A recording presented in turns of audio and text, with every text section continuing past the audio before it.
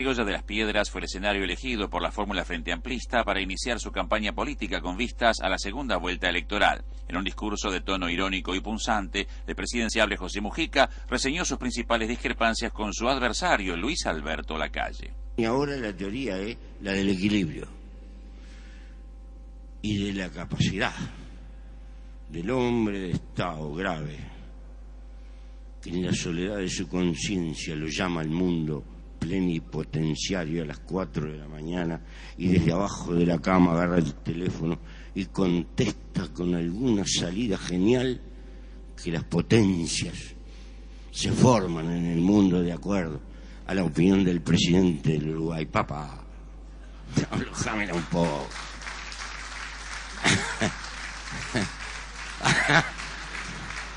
ubicate, ubicate. Hace rato que no hay un gobierno tan estable como este en este país, este, este gobierno, que no tuvo huelga policial, que no tuvo que bancarse la prepotencia de un puñado de coroneles. Y después nos vienen a hablar de ejercicio de la autoridad, que no tuvo que bancarse vergüenzas como la de Berrío, del asunto de Berrío que no tuvo que bancarse las fenomenales fugas de capitales, el fracaso del Banco Central haciéndose el bobo cuando estaban saqueando este país, que no tuvo de qué estabilidad nos vienen a hablar clase de estabilidad. Si esta izquierda no le ha demostrado al Uruguay que es un gobierno estable, tranquilo, hasta se nos puede criticar de ser parsimonioso por respetar a cabalidad cada una de las cuestiones de la Constitución. Entonces, eh, esa teoría del equilibrio, esa teoría de la estabilidad es un taparrabo que pretende disimular las desvergüenzas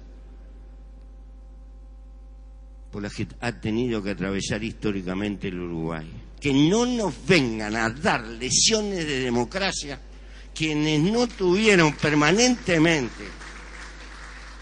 Están llenos de golpistas disfrazados que ocuparon cargos en el poder de la dictadura y la dejamos pasar, porque al país le conviene que la dejemos pasar y que nos olvidemos, pero no nos olvidamos, están allí, son cosas que son presentes pero el país tiene que convivir. No hacemos caudal, ni haremos caudal de esas cosas, pero que no vengan a darnos lesiones de democracia. Por favor, porque en este país somos pocos y nos conocemos. Compañero, no se callen la boca y gracias. Por su parte, el otro integrante de la fórmula, contador Danilo Astori, dijo que el principal capital del Frente Amplio es que ya demostró su capacidad para gobernar. El país que queremos es un país con estabilidad política. Estabilidad política que nace en las mayorías parlamentarias que por resolución del soberano va a tener el Frente Amplio en su nuevo gobierno. Estabilidad política que nace precisamente en la decisión del pueblo uruguayo, pero que se prolonga en la actitud de un gobierno que complementará esa estabilidad política esa mayoría parlamentaria no para aplastar al adversario, sino para proponerle acuerdos en temas fundamentales.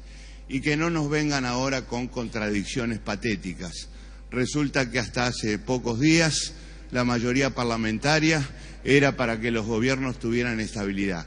Ahora, como somos nosotros los que vamos a ganar, la mayoría parlamentaria es un factor de inestabilidad.